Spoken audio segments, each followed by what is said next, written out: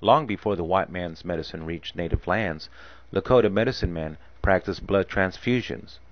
Using the fresh blood of buffalo, brought back by Lakota braves, medicine men fed warm buffalo blood to the very sick.